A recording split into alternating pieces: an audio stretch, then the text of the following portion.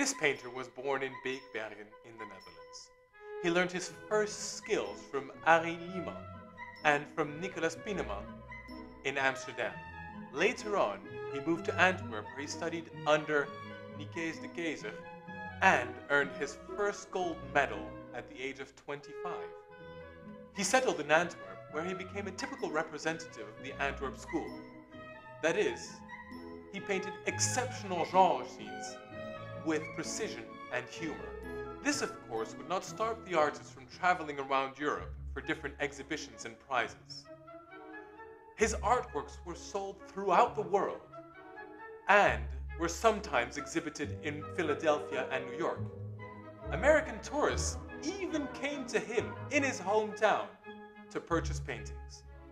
This painting enters a series that could be called When the Cat's Away, the Mice Will Play. As we can see here, the maids, butlers, and their friends are partying, enjoying only the very best of what the house has to offer. When the masters would come home flabbergasted, the artist in occasion would show them in the composition.